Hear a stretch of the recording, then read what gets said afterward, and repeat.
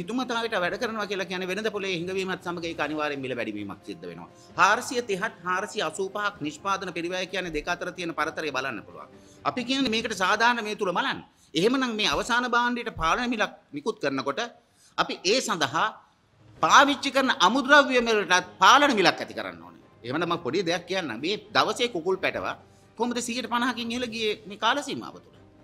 රුපියල් 70කට තිබුණු දවසේ කුකුල් පැටව රුපියල් 110ක් 120ක් සමහර තැන්වල 140ක් 150. මේක සමස්තයක් ලෙස බලනකොට කුකුල් පැටවෙක්ගේ මිල රුපියල් 110ක් 120ක් වෙලා තිබෙනවා. ඒතර මේවා අත්නෝමතික වේ විදිහට යනකොට මේකට බලපාන්නා වූ සාධකවලටත් එවැනි නීතියක් ක්‍රියාත්මක විය යුතු වෙනවා. ඒ වගේම යම් ආකාරයක මේ සත්වාහාර මිල වෙනස් වෙනවා නම් ඒක පිළිබඳ නියම ගණනය කිරීමක් ඒ සඳහා අවශ්‍ය වෙනවා. ඒ මහා පරිමාණවල තිබෙන යම් යම් අකාර්යක්ෂමතාවයන් පාරිභෝගිකයා වෙතට යොමු කිරීම මං හිතනවා අයුතු සාගතයි. මේ සඳහා අපි පිරිවැය සකස් කරනවා නම් කුකුල් මස් සඳහා නිෂ්පාදන පිළිය අපිට පුළුවන් සත්වාහාර සඳහා තියෙන මිලත් නියමාකාරයෙන් ගණනය කළ මේ සත්‍යයක්ද ලෙස බලා ගැනීමට. දැන් මම හොඳම උදාහරණයක් කිව්වා මේක ආයෝජනය කරන්න දෙන අවස්ථාව. ඒ සඳහා නොයෙකුත් සහන ලබා දෙනවා. මේ සහන නිසි ආකාර ඒ නිෂ්පාදනයකින් සඳහා ලබා දෙනවාද. එය පාරිභෝගිකයා දක්වා යනවාද කියන එක පිළිබඳ සොයා බැලීමට මම හිතන්නේ මේ අපේ මිලපාලක දැන් එහෙම නැත්නම් අපේ පශු සම්පත් අමාත්‍යාංශය එහෙමත් එහෙමත් නැත්නම් පාරිභෝගික අමාත්‍යාංශය මීට වඩා සැලකිලිමත් විය යුතුයි. මිල ඒ මෙහෙමයි. දැන් අපි බැලුවොත් එහෙම සාමාන්‍ය ලාභයක් ලැබුවා මේ උත්සව කාලේ.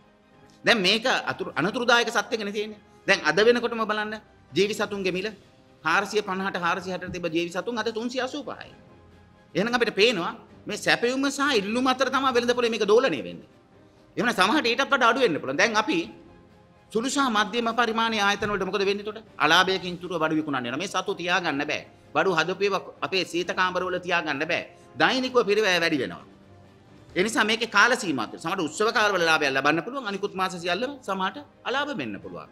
ඒ නිසා අපි කියන්නේ මේකට පාලන මිලක් යොදනකොට පාලන මිල යොදන්න මේ පිරිවැය ගණනය නියාකාරයෙන් ගණනය කිරීමෙන් මේකේ තිබෙන සත්‍ය සත්වාහාර වෙන මිල එහෙම නැත්නම් සතාගේ මිල මේක ගණනය කරන්න පුළුවන් මේ බිල් අරගෙන අවශ්‍යතාවයක් තියෙනවා නම් ඒතකොට පාලන මිල යම් තැනක තිබ්බොත් අපිට පුළුවන් වෙනවා ඒ උත්සව කාලෙදි ලාභයක් ලාභයක් ලබා ගන්න. නමුත් අනිත් කාලවලදී නේ වෙළඳ පොළ විසින් තමයි මේ මිල තීරණය කිරීමක් කරන්නේ.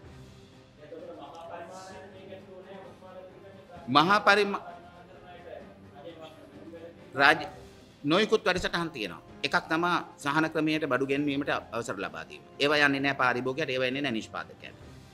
අනිත් එක තමයි දැන් අද මම පෙන්නවා බඩේරිඟු රුපියල් 55 කියලා ගැසට් කරලා තියෙනවා. සමහරට බඩේරිඟු 55ට ලැබෙනවා ඇති. 55ට ලැබුණොත් මේවා යම් ආකාරයක වෙනස් කිරීමක් අපිට කරන්න පුළුවන්. ඒතකොට 55ට බඩේරිඟු ලැබෙනවා නම් අර 400 තියකින් අවසාන මිල සාධාරණයි. මේ දෙකම එකට ගැසට් කරලා තියෙන්නේ. කුකුළු මස් වල මිල 430යි බඩේරිඟු මිල 155යි. මොකද කුකුල් ආහාර සඳහා 150කට ප්‍රමාණයක් ගන්න බඩේරිඟු. එහෙමනම් අපිට පුළුවන් වෙනවා 400 තියෙන්න. එතකොට මේව කොහෙද තියෙන්නේ? මේ හැම තැනකම තියෙන අද බඩිරිඟු වලටත් ඒහා සමානම මහා පරිමාණ ආයතන මැදිහත් වෙලා මිල උච්චාවචනය කිරීමේ යෙදී සිටිනවා. අද සුළු සහ මධ්‍යම බොයිලර් චිකන් නිෂ්පාදනය කරන ආයතන ඉතාමත්ම අසීරු අඩවියකට පත් වෙලා තිබෙනවා. ඒකට ප්‍රධාන හේතුව තමයි මේ මහා පරිමාණ ආයතන සියල්ලක්ම හිතූ මතයට අත්අනුමතික ලෙස මිල වැඩි කරමින් ඉහළට යනවා. නමුත් අපි අපි කවුරුත් දන්නවා කුකුල් මස් සඳහා පාලන මිලක් නියම කරලා තියෙනවා.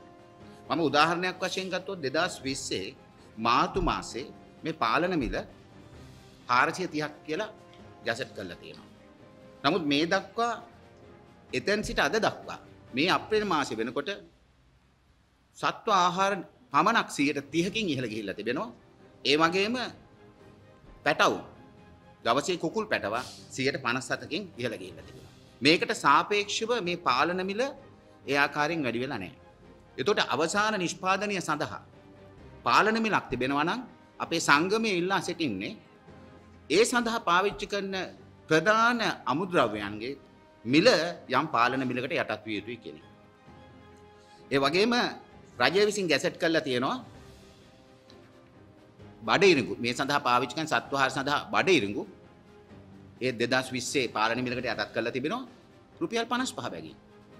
එතොට මේ මිල්ලට සත්වාහර නිෂ්පාදන සඳහා ලැබෙනවද. ඒ වගේම මේ රටේ බඩේරුගු අඩු වෙනකොට ආයෝජනය කිරීම සඳහා නොයෙකුත් පහසුකම් රජය විසින් ලබා දෙනවා.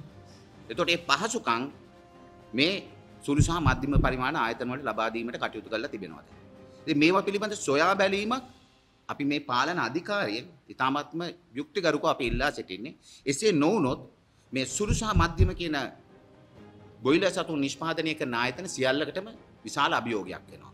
පොඩි උදාහරණයක් වශයෙන් මම කිව්වා 2015 දී 165ක්ව තිබුණු සුළු සහ මධ්‍යම පරිමාණ ආයතන වල නිෂ්පාදනය අද 148 දක්වා වෙනද පොලේ අඩු වෙලා තිබෙනවා. ඒ සඳහා 152ක් 53ක් පමණ ප්‍රමාණයක් මේ මහා පරිමාණ ආයතන විසින් අත්පත් කරගෙන තිබෙනවා. මේ ආකාරයට මේක ඉදිරියට ගියොත් සුළු සහ මධ්‍යම පරිමාණ ආයතන සියල්ලක්ම විනාශ වෙලා ගිහිල්ලා ඒ සඳහා මහා පරිමාණ ආයතන පමණක් මේ රටේ ඉතුරු වෙනවා. එදාට මිල පාලනයක් සිදු කිරීම රජයට කළ හැකි දෙයක් කියලා පිට මත ලොකු ගැටලුවක්. ඒ නිසා අපි විශේෂයෙන් ඉල්ලා සිටින්නේ මේ සඳහා යුක්තිගරුකව සාධාරණව මේ සඳහා මේ විසඳුමක් ලබා දෙන්න. අද අප සංගමේ 100ට අධික ප්‍රමාණයක් සමාජිකයන් සම්බන්ධ වෙලා තියෙනවා. ඒ සුළු සහ මධ්‍යම පරිමාණ ආයතන. ඒතර ඒ අතර වැඩ කරන සේවකයන් ඉන්නවා 125000කට වැඩි වැඩ කරන සේවකයන් ඉන්නවා. මේ සේවකීන් සඳහා තිබෙන ඒගොල්ලන්ගේ රැකරක්ෂා පවා අද අනතුරකට භාජනය වෙමින් පවතිනවා. අපි දන්නවා අපි කවුරුත් දන්නවා වැට් බද්ද 115 වැට් බද්ද 107කින් අඩු කළා 2020 මාර්තු මාසයේ. ඒ වැට් බද්ද අඩු කරන දින දෙකකට කලින් මහා පරිමාණ ආයතන 107කින් කෑම මිල වැඩි කරා. ඒ අවස්ථාවේ කිසිදු අවස්ථාවක් තිබුණේ නැහැ කෑම මිල වැඩි කිරීම සඳහා. වැට් බද්දේ පහසුව ජනාධිපතිතුමා විසින් පාරිභෝගිකයට ලබා දෙන මෙන්න ඉල්ලුවා. නමුත් අපිට කිසිදු ආකාරයකින් ඒ කරන්න බැරි වුණා. ඊළඟට තව කාරණයක් තියෙනවා මේකට ඊයේ පෙරේදා මම හිතන්නේ මාධ්‍ය අතින් ප්‍රකාශ කළා. ජීවි සතුන් නිෂ්පාදනය කරන එමෙත ජීවි සතුන් අලෙවි කරන ජීවි සතුන් සම්බන්ධ කටයුතු කරන ව්‍යාපාරවල උද්ඝෝෂණයක් පැවතුණා. මේ උද්ඝෝෂණයේදී ඇත්ත වශයෙන්ම නියම කාරණා ඒගොල්ලන් නොදැන මේ සුළු සහ මධ්‍යම පරිමාණ වලට අත දිගු කළා. breaking.lk